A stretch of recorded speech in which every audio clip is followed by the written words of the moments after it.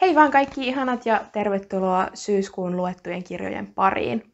Mua nauratti, kun mä kasasin tämän listan, koska tää on A, niin lyhyt, ja B, tässä on kolme lasten tai nuorten kirjaa ja yksi aikuisten tietokirja. Joten mä ajattelen nyt lähestyä tätä listaa ikäjärjestyksessä aloitetaan lastenkirjalla. Mä luin Tomi Kontion kirjoittaman ja Elina Varstan kuvittaman Isäni on hipsteri. Tämä on tuttu kaksikko näistä koiranimeltään kissakirjoista, jotka on lasten kuvakirjoja. Ja sen takia mäkin koko aika meinasin unohtaa sen, että tämä ei ole sellainen lasten kuvakirja, vaan täällä on ihan tekstiä. Tässä on tämmöiset kaverukset, ää, Nuutti ja hänen koulukaverinsa Selma. Ja Selman äiti on sanonut Selmalle, että Nuutin isä on hipsteri. Ja sitten Selma kysyy Nuutilta tästä asiasta ja sitten he päätyvät selvittämään, että onko Nuutin isä hipsteriä, että mitä se tarkoittaa ja kaikkea tämmöistä. Tämä oli ihan hauska välipalakirja. Muistetaan, että mä olen aikuinen ja mä puhun tästä aikuisen näkökulmasta ja mä en tiedä, mistä lapsi nauttii. Mutta mulle tämä jäi vähän eh, kokemukseksi, kun mä oon niin paljon tykännyt niistä toisista kirjoista. Ehkä eniten mua häiritsi tässä, miten, kun siis tää on Nuutin kertoma. Mun mielestä tää on ihan, joo, tää on Nuutin kertoma, tää kirja.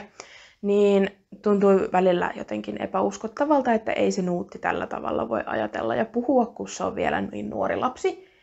Nyt en muista kuinka vanha se on, mutta siis joku ala-asteikäinen vähän liian hienosti ja taiteellisesti hän välillä puhui. Ei tuntunut uskottavalta hänen äänensä. Annoin tälle kolme tähteä. Mä toivon syvästi, että te ette kuule, kun mun maha murisee.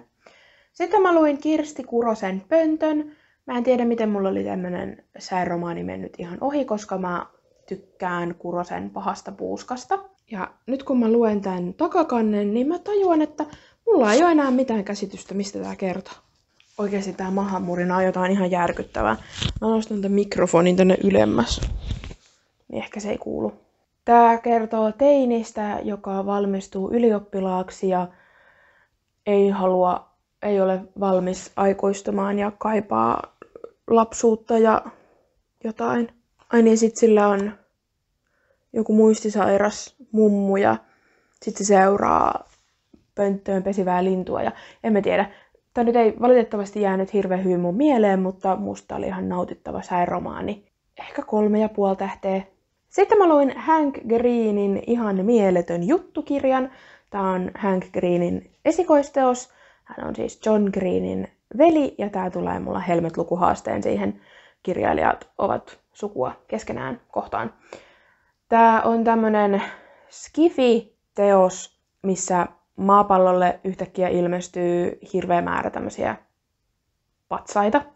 Ja sitten epäillään, että onko ne ulkoavaruudesta vai mistä, onko tämä joku mainoskampanja vai mikä.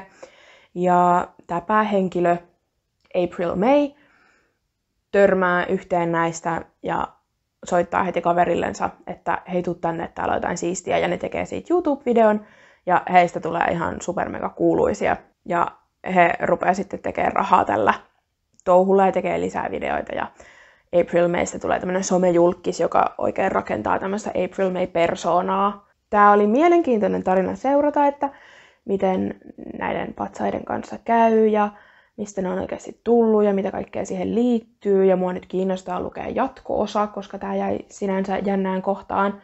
Mutta April May oli päähenkilönä ihan helvetin ärsyttävä. Ihan selvästikin tarkoituksella ja että kirjailija on halunnut näyttää ihmisten vajavaisuuden ja virheet ja huonot puolet, mutta Herra Jumala se oli ärsyttävä ja itsekäs ja ärsyttävä ja ärsyttävä. Mutta voin ehdottomasti suositella tätä nuorille Skifin faneille. On sujuvaa kirjoitusta ja aion kyllä tutustua myös siihen, että miten tämä tarina jatkuu. En tiedä, mitä mä annan tälle. Tämä on myös kolme ja puoli tähteä.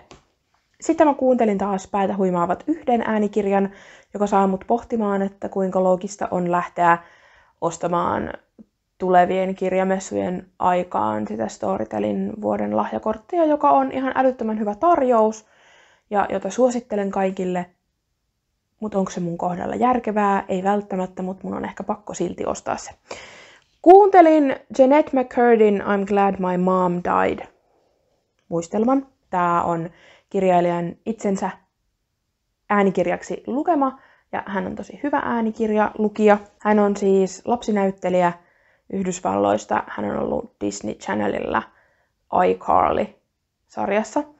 Ja mä en ole ikinä katsonut näitä mitään Disney Channel-sarjoja, eikä ne mua kiinnosta, mutta tästä on pöhisty niin paljon, että mun oli pakko kuunnella tää. Hän ei ole näyttelijä halunnut olla, mutta hänen äitinsä on hänet siihen tunkenut ja kohdellut häntä aika monilla kamalilla tavoilla kaltoin, josta on seurannut syömishäiriökäyttäytymistä ja vaikka mitä muuta kamalaa.